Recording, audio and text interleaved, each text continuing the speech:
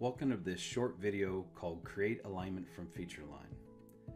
The Create Alignment from Feature Line command allows you to take a feature line and convert that into an alignment in a profile.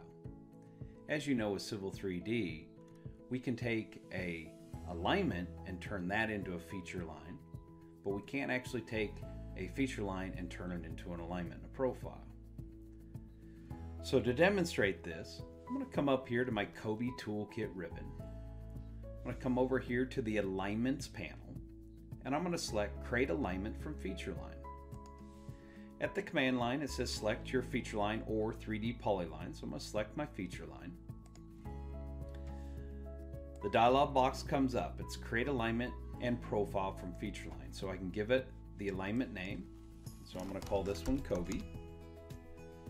What site do I want to put it in? I'm going to leave it at none. What's your alignment style you're going to use? So I'll just call it layout. What layer do I want to put it on? I'm just going to put it on this A building layer. And which label set do I want to use? So I'll just say all labels. I'm going to go ahead and check this toggle, create profile from feature line elevations. So the name of it, I'm just going to call this one FG. The profile style, I'll also use a design profile here. Which layer do I want it to go on? I'm going to put it on the same layer, a building. And the profile label set, I'm going to go ahead and just say complete label set.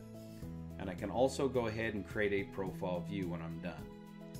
I'm also going to check on this, say erase existing entity. I'm going to go OK. As you can see in the background, it's already created the alignment. Now it's going into creating the profile. I'm just going to go click on Create Profile View. I'm going to zoom out and place it on screen. And there we can see the profile based off of that feature line.